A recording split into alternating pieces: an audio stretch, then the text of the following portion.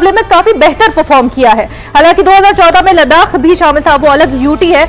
आ, लेकिन उस वक्त 25 सीटें लेकिन आज जो है बीजेपी के खाते में हम देख रहे हैं क्योंकि 25 जीत चुके हैं चार पर लीड बनी हुई है बीजेपी की।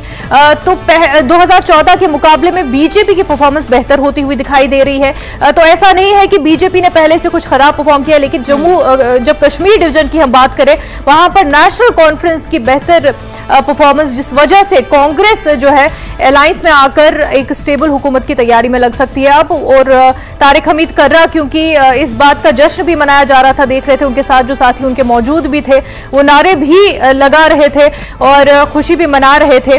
वहीं तो इंडिया ब्लॉक की जब हम बात करते हैं क्योंकि नेशनल कॉन्फ्रेंस ने इतना बेहतर परफॉर्म कर पाया है कांग्रेस की उतनी अच्छी परफॉर्मेंस हम नहीं देख पा रहे हैं जो उम्मीद शायद की जा सकती थी बीजेपी की अच्छी परफॉर्मेंस लेकिन क्योंकि मेजोरिटी मार्क जो मैजिक नंबर है उस तक वहाँ तक नहीं पहुँच पा रहे हैं।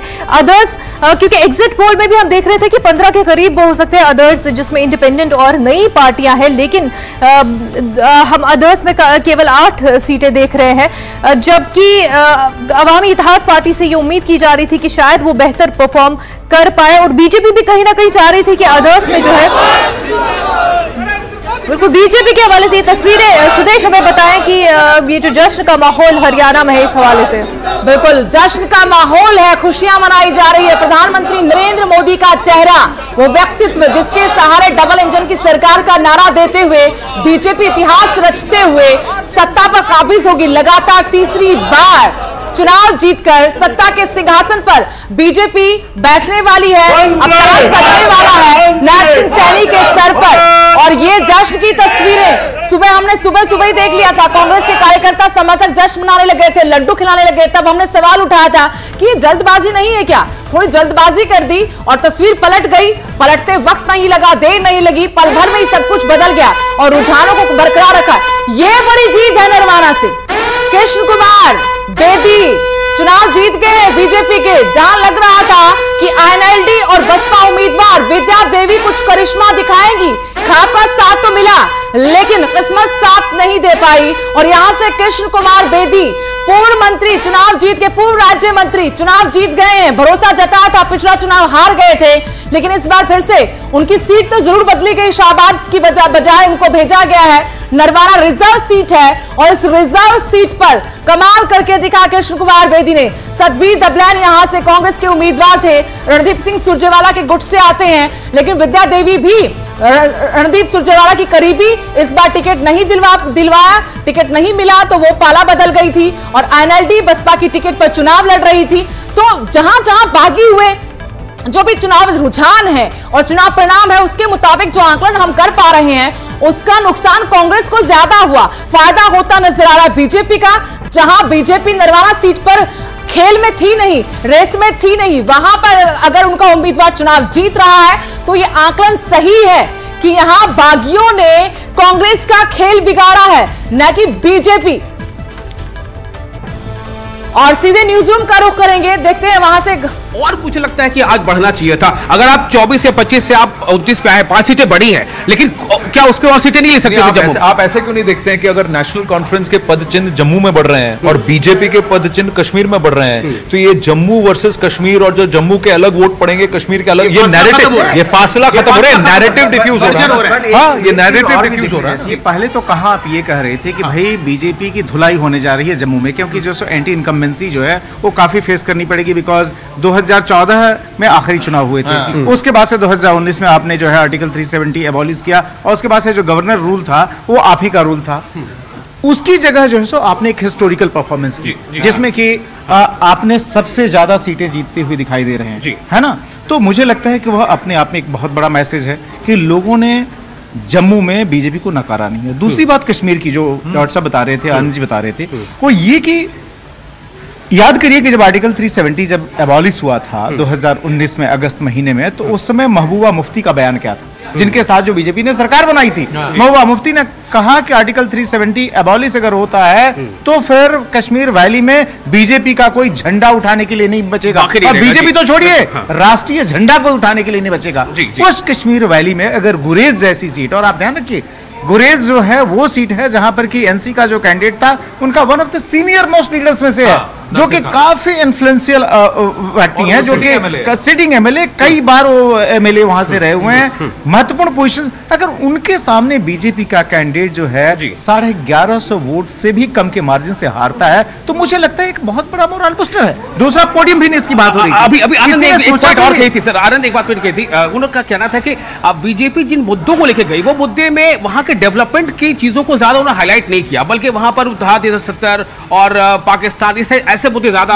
अगर अगर डेवलपमेंट के इशू को ज़्यादा उठाते, कश्मीर में शायद तो ज़्यादा ये बेटर और पॉजिटिव एस्पेक्ट पर ये कैंपेन होता। मुझे लगता है कि देखिए आपने, हो सकता है, कई बार क्या होता है कि जब आप इलेक्ट्रल पॉलिटिक्स करते हैं, आप ध्यान रखिए कि जो नॉर्मल टाइम की जो आपकी चीज़ें होती है, उसमें वो कहीं ना कहीं साइड में हो जाती हैं, क्योंकि चुनाव कई बार बड़े इमोशनल हो जाते हैं। तो इसलिए आप इमोशनल इश्यूज़ को आप आगे करते हैं। डेवलपमेंट पर कितनी बात हुई नहीं हुई यह बीजेपी पोस्ट फैक्टर एनालिसिस कर सकती है। लेकिन जो बड़ा मैसेज जो है वो ये है कि बीजेपी जम्मू कश्मीर में दूसरी सबसे बड़ी पार्टी जो है होने जा रही है। दूसरी बड़ी बात यह है कि पीडीपी खत्म हो गई। तीसरी बड़ी बात यह है कि कांग्रेस कांग्रेस खत्म हो गई। तो जो एक लार्जर मैसेज जो कहीं ना कहीं अपोजिशन ये फैलाने की कोशिश कर रहा था कि आर्टिकल 370 पर एक तरह से रेफरेंडम है तो अगर वो रेफरेंडम को अगर आप देखेंगे तो वह बीजेपी के हक में है। ऐसा नहीं कि अगर सरकार अगर एनसी और कांग्रेस की बन जाती है तो बीजेपी के खिलाफ नहीं है क्योंकि बीजेपी अपनी मैक्सिमम सीटें जो है हाईएस्ट लेवल पर जा रही है और वैली में उसको वोट मिल रहे हैं। उससे उससे बड़ी बात आप दुनिया को क्या दिखा रहे हैं? दुनिया को ये दिखा रहे हैं कि यहाँ सही मायने में जमहूरियत है। आइन का जो वोट था जो यानी कि जो जो लोगों का जो जनता का जो वोट है वो सामने निकल के आया है। इलेक्शन का पूरा प्रोसेस पारदर्शी हुआ है।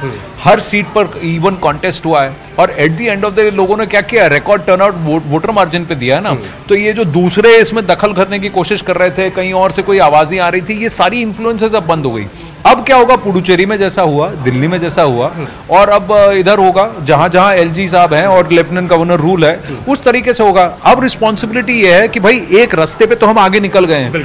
अब उमर साहब को ये ज़रूरी है कि वो इसको रिस्पॉन्सिबली इसको कैसे आगे निभाते हैं? जितना कि सेंट्रल एडमिनिस्ट्रेशन या जो भी एलजी रहेंगे, उनको भी होगा कि साथ में मिलकर हम काम कैसे करें कि इस तरह से कि ये डायल बैक नहीं होगा, ये मूव फॉरवर्ड होगा। Towards proper statehood under the tricolour with the constitution एक देश एक विधान एक निशान एक संविधान। मैं एक चीज़ बोलूँ कि ये जो आज के चुनाव नतीजे हरियाणा और कश्मीर दोनों मिलाकर ये प्रधानमंत्री नरेंद्र मोदी के लिए एक this is excellent result for Narendra Modi and for brand Modi. भाई 2024 के चुनाव में लोगों ने अटकलें लगानी शुरू कर दी थी कि भाई अब मोदी का जो रथ है उसमें अब अट- अटकलें आनी शुरू हो गई हैं। अब मोमेंटम चेंज हो रहा है। अब ये पूरा वो क्लॉक वापस चलेगी उसी पॉइंट पे वापस आकर। क्योंकि आज का जो रिज़ल्ट है आप देखिए हरियाणा ऐसे स्टेट है जहाँ पे भाजपा का वो गढ़ नहीं है। नॉट लाइक मध्य प्रदेश या गुजरात। पहली बार तो दो हज़ार चौदह में जीते थे। वो वो भी फ़र्स्ट टाइम थर्टी परसेंट से वोट ज़्यादा उनका दो हज़ार चौदह में आया था। पिछली बार बड़ी मुश्किल से चुनाव जीते थे। वो भी अलायंस के बाद पार्टनर में आए। अब तीसरी बार अब जीत गए हैं। तीसरी बार जीते हैं और ऐसे स्टेट में जीते हैं जहाँ भाजपा के पास कोई रीजनल लीडर नहीं है। मनोहर लाल खट्टर को भी हटाया गया कुछ समय पहले। तो ये और प्रधानमंत्री ने सत्ताईस जगह रैली करी। सबसे ज़्यादा वहाँ पर विक्ट्रीज आई हैं। राहुल गांधी ने आठ या नौ जगह करी। एक हर जगह कांग्रेस मोस्टली हारी है उसमें से उसमें। हाँ उसमें से आठ में ट्रेलिंग है छह में या चार में वो जीते हैं तो बारह में से सिर्फ़ चार So- तो हरियाणा की बात आई तो एक और एक और सवाल करूँगा। हरियाणा पे एक सवाल छोटा सा करना चाहूँगा कि रीजनल पार्टी को क्या मैसेज गया आज आज देखिए जेजेपी बिल्कुल ज़ीरो हो गई। आईआरएलडी के अभय चौटाला हार गए। तो रीजनल पार्टी का देखिए ऐसा है इस चुनाव से पहले दो चीज़ें कही जा रही थी अबाउट हरियाणा पॉलिटिक्स। एक कि जाट वोट जो है वो सारा भाजपा के खिलाफ है कांग्रेस के साथ है। और दूसरा ये कहा जा रहा था कि अगर जहाँ जहाँ ये टू हॉर्स रेस होगी वहाँ कांग्रेस का फ़ायदा होगा। ये दोनों बातें बिल्कुल गलत साबित हुई Jat vote 50 Jat vote fifty fifty divide हुआ है तीस सीटें हैं जाटों की लार्जली जाट डोमिनेंट वहाँ पे इक्वली स्प्लिट हुआ है चौदह चौदह बिटवीन बीजेपी एंड कांग्रेस। और जहाँ जितना वोट और यही कहा जा रहा था कि बीजेपी की सोशल कोलिशन थी जो एक नॉन जाट कोलिशन थी जिसकी वजह से बीजेपी दस साल से पावर में है। और ये कहा जा रहा था कि जाट गुस्सा है और फार्मर प्रोटेस्ट के बाद नेशनल प्रोटेस्ट के बाद उधर हो गए। ये बात कभी भी सही नहीं थी। और ये इस बात बिल्कुल प्रूव हो गई। मुझे लगता है कि एक और इम्पोर्टेंट चीज़ जो है जिसको हमें रिफ्लेक्ट करना चाहिए वो ये है दलित वोटर्स जब 2024 के लोकसभा चुनाव हुए सबने ये कहा कि भाई चूँकि बीजेपी संविधान में चेंज करने जाती है ये लोग रिजर्वेशन खत्म कर देंगे इसलिए दलित बड़े पैमाने पर छिटक गया है। लेकिन ये जो परिणाम आए हैं या जो रुझान दिखाई दे रहे हैं वो बहुत साफ़ तौर पर रिफ्लेक्ट करते हैं कि दलित कंसोलिडेशन वापस बीजेपी ने हासिल किया देखिए सत्रह रिज़र्व सीटें हैं हरियाणा में उनमें से नौ में भाजपा आ गया भाजपा या जीत गई है? तो दलित जो वोट जो भाजपा से अलग जा रहा था वो पूरा पूरा पूरा इस वक्त वापस आ रहा अशोक तंवर के लाने का कोई फ़ायदा नहीं कहा जाता है कि मास्टर स्ट्रोक अशोक तंवर को लिया है बिल्कुल इसमें तो एक्चुअली ये हुआ है कि कुमारी शैलजा को आपने दरकिनार किया और जिस तरह से उन्होंने ट्रीट किया, उसका खामियाजा कांग्रेस को भुगतना पड़ रहा है। ओबीसी में भी आप देखिए, सही है सीएसडीएस लोकनीति लोकनीति ने इतना तक कह दिया कि सारा ओबीसी वोट पूरा आईएनडी आईएनसी को शिफ्ट हो जाएगा कांग्रेस को। उनको सिर्फ़ चार जगह बढ़त मिली है। बारह में बीजेपी आ गए तो ओबीसी वोट कहीं नहीं खिसका है इसमें सबसे बड़ी बात यह है कि ग्राउंड पर अगर आपने एक संगठन ठीक कर दिया, दूसरा अगर आपने ग्राउंड पर नैरेटिव को संभाल लिया, लोग भी ये देख रहे हैं कि कौन कर रहा है और कौन बांच रहा है, कौन कह रहा है। दो दो बड़े नेशनल पॉलिटिक्स केस में सोशल कोलिशन को लेकर हैं एक तो दलितों की बात ब्रजेश भाई ने हमको बताई।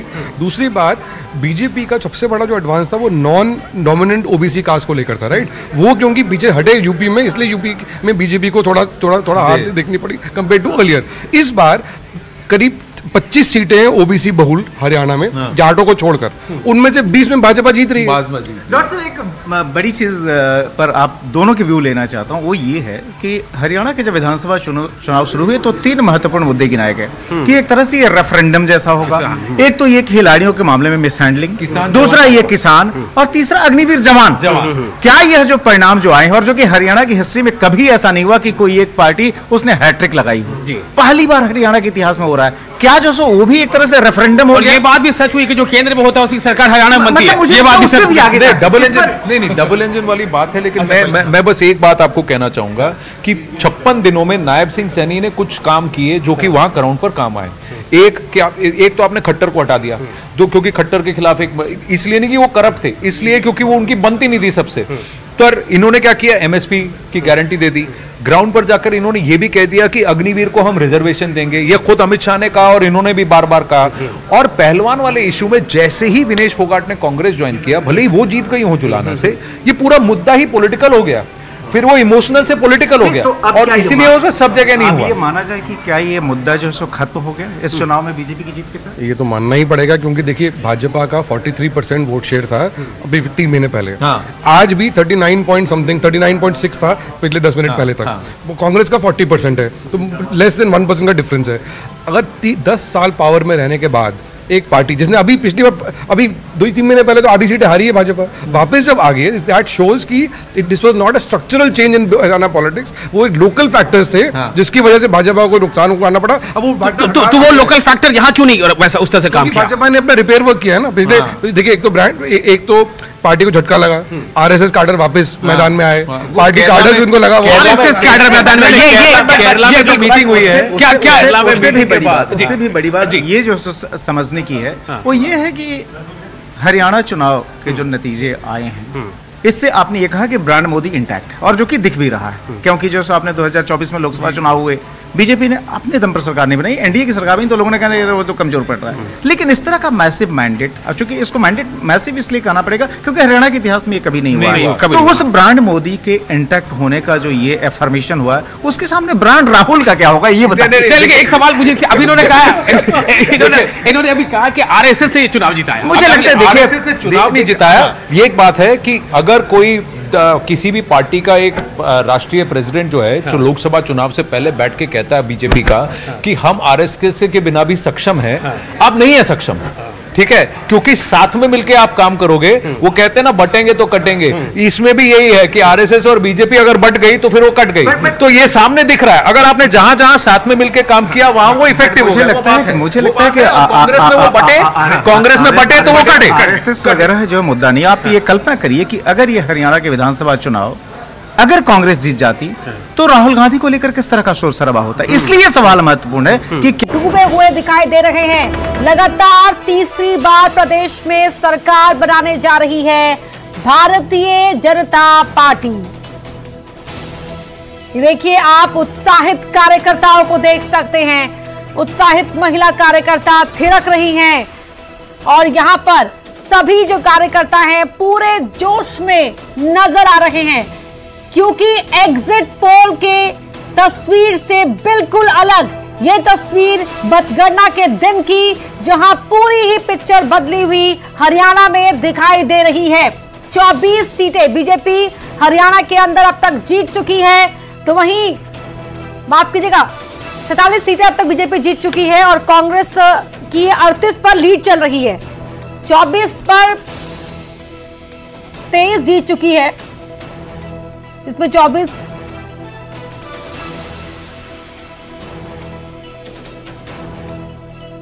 तो अलग अलग टेरीज के ज़रिए आपको हम दिखा रहे हैं, लेकिन ये तय लग रहा है कि प्रदेश में अब तीसरी बार बीजेपी सरकार बनाने जा रही है।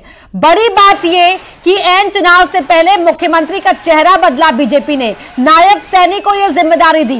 नायब सैनी की इस ज़िम्मेदारी को लेकर सवाल कांग्रेस ने खड़े किए कई बार, लेकिन उसके बावजूद नायब सैनी का को पसंद किया है हरियाणा की आवाम ने यह दिखाई दे रहा है। बड़े चेहरे जो जीते हैं, कुलदीप वत्स ने जीत हासिल की है। कांग्रेस के उम्मीदवार कुलदीप वत्स ने बादली से जीत हासिल की है।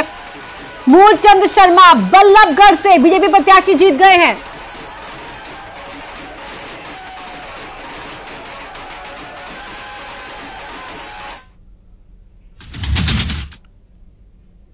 तो बड़ी खबर आपको बता रहे हैं। दिल्ली में आज शाम बीजेपी हेडक्वार्टर में होगा जश्न। शाम को बीजेपी दफ्तर पहुँचेंगे प्रधानमंत्री मोदी। बीजेपी की जीत का जश्न मनाने के लिए आज शाम को बड़े जश्न की तैयारी बीजेपी हेडक्वार्टर में, जहाँ प्रधानमंत्री मोदी पहुँचेंगे। हरियाणा में पार्टी की जीत पर उनका अभिनंदन किया जाएगा। कार्यकर्ताओं को संबोधित भी करेंगे। प्रधानमंत्री मोदी, ये बड़ी खबर आपको इस वक्त की बता रहे हैं। प्रदेश में तीसरी बार बीजेपी का ये शानदार प्रदर्शन, जबकि ये कहा जा रहा था